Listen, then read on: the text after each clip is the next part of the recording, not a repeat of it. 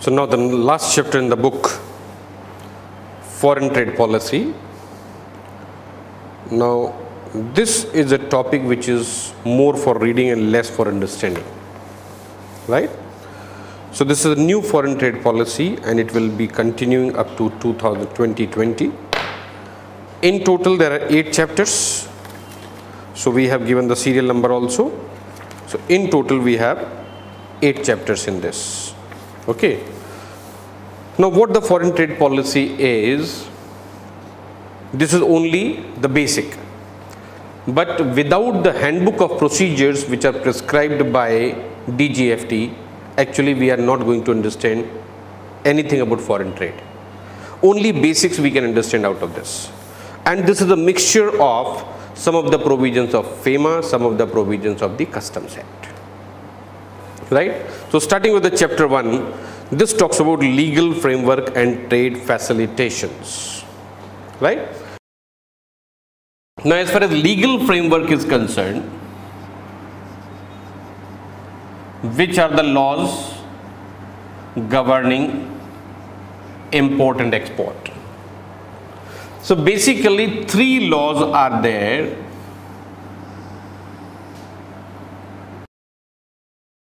First is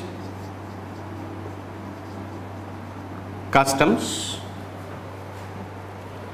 Number two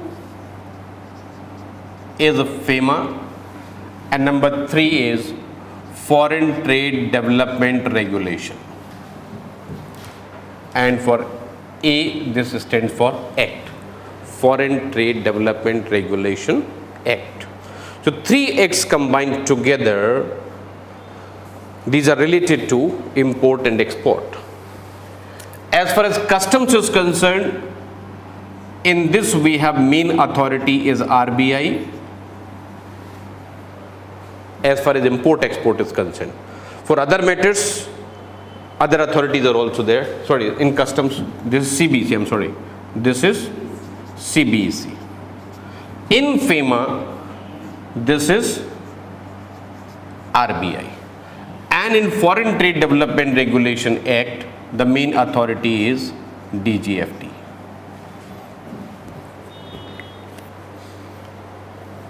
Director General of Foreign Trade. Okay. Now in customs, Custom Act we have already done. Imported goods, export goods, prohibited goods, those goods, various types of things we have already discussed. FEMA that comes under corporate law. So under FEMA, there is a time limit given within which export proceeds should be realized and every person who is in the business of import and export, what are his obligations as far as Forex is concerned, all that is covered under FEMA.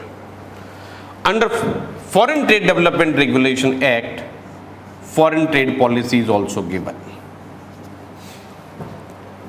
So foreign trade policy is framed under the provisions of Foreign Trade Development Regulation Act and this FTP is supported by Handbook of Procedure Part 1 and Handbook of Procedure Part 2. And these handbooks are not a part of your syllabus. Right? So this is combined together, import and export are taken care of right? Then ministry of industry is also involved ministry of commerce is also involved other ministries are also involved. But the main provisions are under customs act under fema and under the foreign trade development regulation act. Is it clear?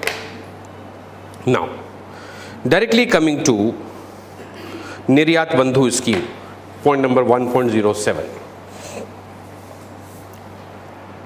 the name is given niryat bandhu it is not ayat bandhu Ayat is for import, Niryat is for export.